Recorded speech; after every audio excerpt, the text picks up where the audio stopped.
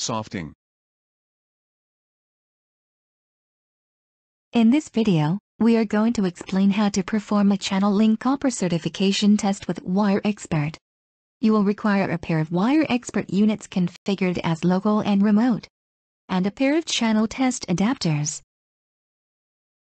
Typically known as a channel, is consist of the permanent link and the patch cords used to connect from the patch panels and telecommunication outlets to the respective equipment.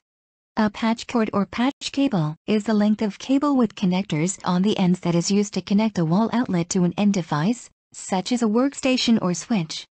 The typical length for these patch cords is 2 meters, up to a maximum of 5 meters. The maximum length of a channel link is 100 meters.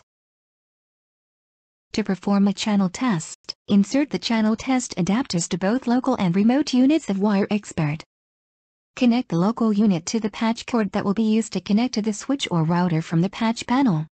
Connect the remote unit to the patch cord that will be used to connect to the workstation from the wall outlet.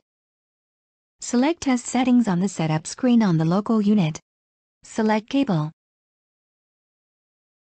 Select the cable manufacturer, or depending on the cable construction type, select generic UTP or generic shielded if unsure of the manufacturer. Select the cable type. Select connector. Select the connector manufacturer, or depending on connector construction type, select generic unshielded or generic shielded if unsure of the manufacturer. Select the connector type. Select Test Limit. Select Limit Standard from the list depending on requirement. And choose channel of the required installation.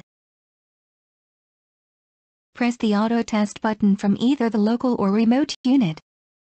WireXpert's dual control system allows performing an auto test and viewing of test results on both local and remote units. Have a look at the other videos or visit our website to explore the other various features of WireXpert. Thanks for watching.